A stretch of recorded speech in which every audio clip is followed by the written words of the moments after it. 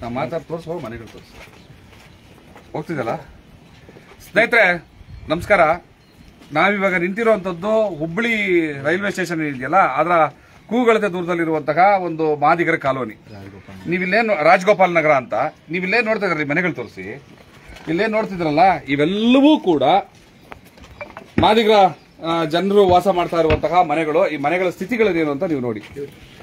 ನೋಡಿ ಎಲ್ಲವೂ ಕೂಡ ಬಿದ್ದೋಗಿರುವಂತದ್ದು ಮನೆ ಪೂರ್ತಿ. ಸುಮಾರು ಇಲ್ಲಿ ನಲವತ್ತೊಂದಲ್ಲ?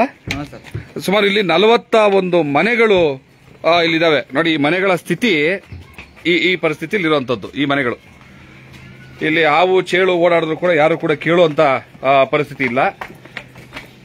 ಎಲ್ಲ ಗುಡಿಸ್ಲುಗಳಾದ್ರೂ ಪರವಾಗಿಲ್ಲ ಆದ್ರೆ ಈ ಮನೆಗಳನ್ನಂತೂ ನೀವು ಕೇಳೋದಿಲ್ಲ ನೋಡಿ ಈ ಮನೆಗಳಲ್ಲಿ ಇವರು ವಾಸ ಮಾಡ್ತಾ ಇರುವಂತದ್ದು. ಇದು ಒಟ್ಟು ನಲವತ್ತೊಂದು ಮನೆಗಳಿರುವಂತದ್ದು. ನೋಡ್ಕೊಳ್ಳಿ ಪೂರ್ತಿ ಮನೆಗಳು ನೋಡಿ. ಯಾಕೆ ಇದು ಇವತ್ತಿದು ನಮಸ್ಕಾರ ನಮಸ್ಕಾರಮ್ಮ ನೀವು ಎಷ್ಟು ವರ್ಷದಿಂದ ಇದ್ದೀರಿ ಇಲ್ಲಿ? ತುಂಬಾ ವರ್ಷಗಳಿಂದ ಇದ್ದೀರಾ? ನಲವತ್ತು ನಲವತ್ತು ವರ್ಷ. ನೀವು ಇಲ್ಲಿ ಇದ್ದೀರಿ. ನೋಡಿ ಇಷ್ಟು ವರ್ಷಗಳಿಂದ ಇರುವಂತದ್ದು ಇದು ಲೈವ್ ಮಾಡ್ತಾ ಇರೋದು ಸುಮ್ಮನೆ ಏನೋ ಒಂದು ಬೇರೆ ಏನೋ ಕಾರಣ ಇಲ್ಲದೆ ಮಾಡ್ತಾ ಇರೋಂಥದ್ದಲ್ಲ ಇದಕ್ಕೆ ನಿಜವಾದ ರೀಸನ್ ಈಗ ನಾನು ಹೇಳ್ತೀನಿ. ನೋಡಿ ಈ ಪರಿಸ್ಥಿತಿಲಿದೆ ಮನೆಗಳೆಲ್ಲ ಎಲ್ಲ ಎಲ್ಲ ಪರಿಸ್ಥಿತಿಲಿದೆ.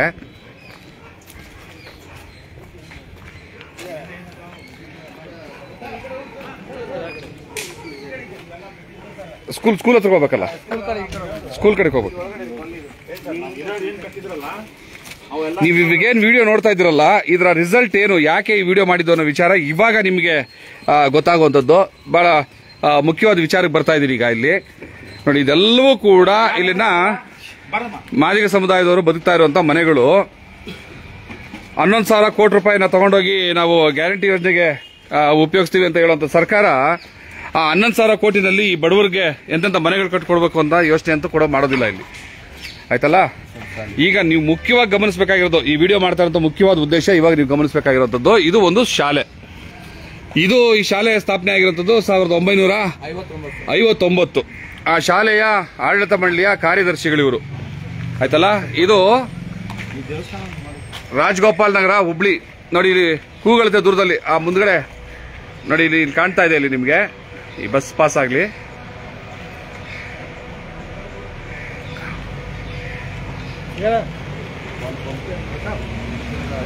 ನೋಡಿ ಇಲ್ಲಿ ಕಾಣ್ತಾ ಇರುವಂತದ್ದು ರೈಲ್ವೆ ಸ್ಟೇಷನ್. ರೈಲ್ವೆ ಸ್ಟೇಷನ್ ಅತಿ ಸಮೀಪದಲ್ಲಿ ಇಲ್ಲಿಂದ ಕೂಗಿದ್ರೆ ರೈಲ್ವೆ ಸ್ಟೇಷನ್ ಕೇಳಿಸುತ್ತೆ. ಆ ಕೂಗಳತೆ ದೂರದಲ್ಲಿರುವಂತಹ ಈ ಶಾಲೆ ಮತ್ತೆ ಇಲ್ಲಿನ ಈ ಮಾದಿಗರ ಕಾಲೋನಿ. ಇಲ್ಲೊಂದು ದೇವಸ್ಥಾನ ಕೂಡ ಇದೆ. ಆಯ್ತಲ್ಲ? ನೋಡಿ ಇವೆಲ್ಲವೂ ಕೂಡ ಶಾಲೆಯ ಆ, ದೃಶ್ಯ. ಇಲ್ಲಿ ಮಹಾತ್ಮ ಗಾಂಧಿನೂ ಇದೆ ಸರ್. ಹೌದು. ಮಕ್ಕಳೆಲ್ಲ ಅಲ್ಲಿ ಹೊರಗಡೆ ಪ್ರಾಕ್ಟೀಸ್ ಅಲ್ಲಿದ್ದಾರೆ ಈ ಶಾಲೆ ಕತೆ ಏನು ಅಂತಂದ್ರೆ ಒಂದನೇ ತರಗತಿಯಿಂದ ಏಳನೇ ತರಗತಿವರೆಗೂ ಕೂಡ ಇಲ್ಲಿ ಶಾಲೆಯ ಮಕ್ಕಳಿದ್ದಾರೆ. One to seventh. One to seventh ತರಗತಿ ಎಲ್ಲ ಖಾಲಿ ಇದೆ ಇಲ್ಲೆಲ್ಲ ಮಕ್ಕಳಿದ್ದಾರೆ.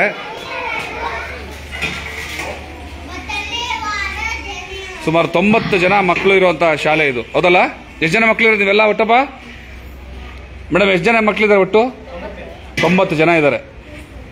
ಈ ತೊಂಬತ್ತು ಜನ ಅತಿ ಹೆಚ್ಚು ದಲಿತ ಮತ್ತು ಏನು ಅಲ್ಪಸಂಖ್ಯಾತ ಸಮುದಾಯದ ಮಕ್ಕಳು ಓದುವಂಥ ಶಾಲೆ ಒಂದನೇ ತರಗತಿಯಿಂದ ಏಳನೇ ತರಗತಿವರೆಗೂ ಈ ಶಾಲೆಯಲ್ಲಿ ಮಕ್ಕಳು ಕಲಿತಾ ಇದ್ದಾರೆ. ದುರಂತ ಏನು ಅಂತಂದರೆ ನೀವಿಲ್ಲಿ ನಾನು ಇಲ್ಲಿ ಬೋರ್ಡ್ ತೋರಿಸ್ತೀನಿ. ಈ ಶಾಲೆನಲ್ಲಿ ಈಗ ಈ ಮಕ್ಕಳಿಗೆ ಪಾಠ ಮಾಡ್ತಾ ಇರುವಂತಹ ಏನು ಉಪಾಧ್ಯಾಯರ ಸಂಖ್ಯೆ ಕೇವಲ ಒಬ್ರು. ಎಚ್ ಬಿ ಭಜಂತ್ರಿ ಅಂತ ಹೆಡ್ ಮಾಸ್ಟ್ರು ಈ H B Bhajantri head master ಒಬ್ಬರೇನೆ ಒಂದರಿಂದ ಏಳನೇ ತರಗತಿ ನೋಡಿ, ಒಂದರಿಂದ ಏಳನೇ ತರಗತಿ. ಎರಡು, ಮೂರು, ನಾಲ್ಕು, ಐದು, ಆರು, ಏಳು ಖಾಲಿ. ಟೀಚರ್ಸ್ ಇಲ್ಲ ಇಲ್ಲಿ. ತೊಂಬತ್ತು ಜನ ಮಕ್ಕಳಿಗೆ ಪಾಠ ಮಾಡೋದಕ್ಕೆ ಕೇವಲ ಒಬ್ಬ ಮೇಸ್ಟ್ರು ಇಲ್ಲಿನ ಬಿ ಇಲ್ಲಿವರೆಗೂ ಇಲ್ಲಿ ಒಬ್ಬ ಮತ್ತೊಬ್ಬ ಟೀಚರ್ಸ್ನ ಏನೋ ಉಳಿದಂತ ಆರು ತರಗತಿಗಳಿಗೆ ಟೀಚರ್ಸ್ನ ನೇಮಿಸುವಂತ ಕೆಲಸವನ್ನ ಮಾಡಿಲ್ಲ. ನಮ್ಮ ಅಹಿಂದಾಪರವಾದಂಥ ಸರ್ಕಾರ ತೊಂಬತ್ತು ಜನ ಮಕ್ಕಳ ವಿದ್ಯಾಭ್ಯಾಸವನ್ನ ಕತ್ಲಲ್ಲಿಟ್ಟಿರುವಂಥದ್ದು ಇಲ್ಲಿನ ವಿದ್ಯಾರ್ಥಿ ಇಲಾಖೆಗೆ ಸಂಬಂಧಪಟ್ಟಂತ ಕಮಿಷನರ್ ಇಷ್ಟು ದಿವಸ ಇಷ್ಟು ವರ್ಷಗಳಾಗಿದೆ. ಕಳೆದ ಆರು ತಿಂಗಳ ಕೆಳಗಡೆ ಇನ್ನು ಮತ್ತೊಬ್ರು ಟೀಚರ್ಸ್ ಏನೋ ರಿಟೈರ್ಡ್ ಆಗಿದ್ದಾರೆ. ಇಂತಹ ಪರಿಸ್ಥಿತಿನಲ್ಲಿ ಈ ಮಕ್ಕಳಿಗೆ ಏಳು ಜನ ಏಳು ತರಗತಿಗಳ ತೊಂಬತ್ತು ಜನ ಮಕ್ಕಳಿಗೆ ಕೇವಲ ಒಬ್ಬ ಟೀಚರ್ ಅಂತಂದ್ರೆ ಅರ್ಥ ಮಾಡ್ಕೊಳ್ಳಿ ಈ ಸ್ಕೂಲಿನ ದುಸ್ಥಿತಿ ಹೆಂಗಿದೆ ಅಂತ. ಮತ್ತು ತುಂಬಾ ಇಂಪಾರ್ಟೆಂಟ್ ವಿಷಯ ಇದೆ ಅಲ್ಲಿ ಬರ್ತೀನಿ ನಾನು. ಮಹಾತ್ಮ ಗಾಂಧಿ ಅವ್ರನ್ನ ಇಲ್ಲಿ ಸ್ಥಾಪನೆ ಮಾಡ್ಕೊಂಡಿದ್ದಾರೆ? ಐವತ್ತಾ? ಹತ್ತೊಂಬತ್ತು ಹತ್ತೊಂಬತ್ ನೂರ ಮೂವತ್ತೊಂಬತ್ತರಲ್ಲಿ ಆದಂತದ್ದು ಮಹಾತ್ಮ ಗಾಂಧಿ ಕೈ ಕೂಡ ಮುರಿದೋಗಿದೆ. ಇಂತಹ ಪರಿಸ್ಥಿತಿಲಿ ಈ ಊರಿದೆ. ಈಗ ನಿಜವಾದ ವಿಚಾರ ಏನು ಅಂತಂದ್ರೆ, ಇಲ್ಲಿ ಹತ್ತೊಂಬತ್ತು ನೂರ ಐವತ್ತೊಂಬತ್ತು ಸಾವಿರದ ಒಂಬೈನೂರ ಐವತ್ತೊಂಬತ್ತರ ಸ್ಥಾಪನೆ ಆಗಿರುವಂತಹ ಈ ಒಂದು ಶಾಲೆ. ಮತ್ತೆ ಅದ್ರ ಸರೌಂಡಿಂಗ್ ಅಲ್ಲಿ ಇರುವಂತಹ ನಾನು ಆಗಲೇ ತೋರಿಸಿದಂತ ಎಲ್ಲ ಮಾದಿಗರ ಮನೆಗಳು. ಸಾವಿರದ ಒಂಬೈನೂರ ಮೂವತ್ತೆರಡಲ್ಲ ಸಾವಿರದ ಒಂಬೈನೂರ ಮೂವತ್ತೆರಡನೇ ಇಸ್ವಿಯಿಂದ ಇಲ್ಲಿ ಇವರೆಲ್ಲರೂ ಕೂಡ ವಾಸ ಇದ್ದಾರೆ ಇವರ ಅಪ್ಪ ತಾದ್ದಿರೆಲ್ಲ ಇಲ್ಲೇ ಹುಟ್ಟು, ಬೆಳೆದು ಸತ್ತಿದ್ದಾರೆ. ಆದರೆ ಈ ಜಾಗ ನಿಮ್ಮದಲ್ಲ ನಮ್ಮ ರೈಲ್ವೆ ಇಲಾಖೆದು ಇದನ್ನ ಖಾಲಿ ಮಾಡಿ ಅಂತ ರೈಲ್ವೆ ಇಲಾಖೆ ಅಧಿಕಾರಿಗಳು ಇವರಿಗೆ ಹಿಂಸೆ ಕೊಡುವಂತ ಕೆಲಸ ಮಾಡಿದ್ದಾರೆ.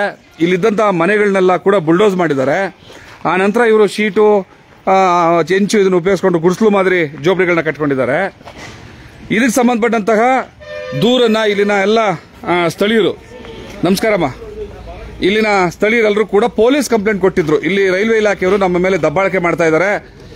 ನಮ್ಗೆ ರಕ್ಷಣೆ ಕೊಡಿ. ನಾವಿಲ್ಲಿ ಸಾವಿರದ ಒಂಬೈನೂರ ಮೂವತ್ತೆರಡನೇ ಇಸ್ವಿಯಿಂದ ಇಲ್ಲಿ ಬದುಕ್ತಾ ಇದ್ದೀವಿ. ನಮ್ಗೆ ಇಲ್ಲಿ ರಕ್ಷಣೆ ಕೊಡಿ ಅಂತ ಪೊಲೀಸರಿಗೆ ದೂರು ಕೊಟ್ರೆ, ಪೊಲೀಸ್ನವರು, ಇದು ಬಿ ರಿಪೋರ್ಟ್, ಇದು ಸುಳ್ಳು ಪ್ರಕರಣ. ಈ ಜಾಗ ಏನಪ್ಪ, ರೈಲ್ವೆ ಇಲಾಖೆಗೆ ಸಂಬಂಧಪಟ್ಟಿದ್ದು, ಇವರ ಸ್ವಂತ ಆಸ್ತಿ ಅಲ್ಲ ಅನ್ನೋ ರಿಪೋರ್ಟ್ ಅನ್ನ ಕೊಟ್ಟಿದ್ದಾರೆ. ನಾನು ದಾಖಲೆಗಳನ್ನ ಪರಿಶೀಲನೆ ಮಾಡಿ ಮಾತಾಡ್ತಾ ಇದ್ದೀನಿ. ಈ ಜಾಗ ರೈಲ್ವೆ ಇಲಾಖೆಯವ್ರದ್ದು ಅನ್ನೋದಕ್ಕೆ ಯಾವ ಒಂದು ಸಣ್ಣ ಕುರುಹು, ಒಂದೊಂದು ದಾಖಲೆ ಕೂಡ ಇಲ್ಲ. ಸಾವಿರದ ಒಂಬೈನೂರ ಮೂವತ್ತೆರಡನೇ ಇಸ್ವಿಯಿಂದ ಇಲ್ಲಿ ಬದುಕ್ತಾ ಇದ್ದಾರೆ. ಇಂಥವ್ರನ್ನ ರೈಲ್ವೆ ಇಲಾಖೆ ಜಾಗ ಅಂತ ಇವ್ರನ್ನ ಒಕ್ಕಲೆ ಬಿಡಿಸಕ್ ಬರ್ತಾರೆ. ಪೊಲೀಸ್ ದೂರು ಕೊಟ್ರೆ ಪೊಲೀಸ್ನವರು ಬಿ ರಿಪೋರ್ಟ್ ಹಾಕ್ತಾರೆ. ಹೇಳಿ ಹೇಳಿ ಹೇಳಿ ಹೇಳಿ ಹೇಳಿ. ಇಲ್ಲ ಪರವಾಗಿಲ್ಲ ಆ ಪೊಲೀಸ್ನವರು ಬಿ ರಿಪೋರ್ಟ್ ಹಾಕ್ತಾರೆ.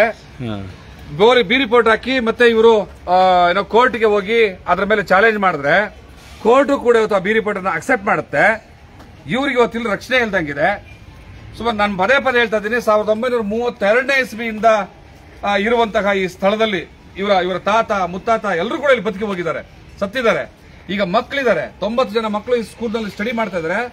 ಒಂದರಿಂದ ಏಳನೇ ತರಗತಿ ಮಕ್ಕಳಿಗೆ ಒಬ್ಬೇ ಒಬ್ಬ ಟೀಚರ್ ಇನ್ನು ಏಳು ಜನ ಟೀಚರ್ ಇಲ್ಲ ಇಲ್ಲಿ. ಇವ್ರನ್ನೆಲ್ಲ ಎತ್ತುವಂತ ಕೆಲಸವನ್ನು ಮಾಡಿದ್ದಾರೆ. ಪೊಲೀಸ್ ದೌರ್ಜನ್ಯ ಮತ್ತೆ ರೈಲ್ವೆ ಇಲಾಖೆ ದೌರ್ಜನ್ಯಕ್ಕೆ ಇವತ್ತು ಇವರು ನರಳ್ತಾ ಇದ್ದಾರೆ. ಆದ್ರೆ ನಮ್ಮ ಗೌರವಾನ್ವಿತ ಸರ್ಕಾರ, ಮಾನ್ಯ ಮುಖ್ಯಮಂತ್ರಿಗಳು ಈ ತರದ ಜೋಪಡಿ ತೋರಿಸಿ, ಈ ಜೋಪಡಿಗಳನ್ನ ಕನಿಷ್ಠ ಪಕ್ಷ ಒಂದು ಬೇಸಿಕ್ ನೀಡ್ಸ್ ಇರುವಂತಹ ಒಂದು ಮನೆಗಳನ್ನಾದ್ರೂ ನಿರ್ಮಾಣ ಮಾಡುವಂತಹ ವಿಚಾರಕ್ಕೆ ಹೋಗದೆ.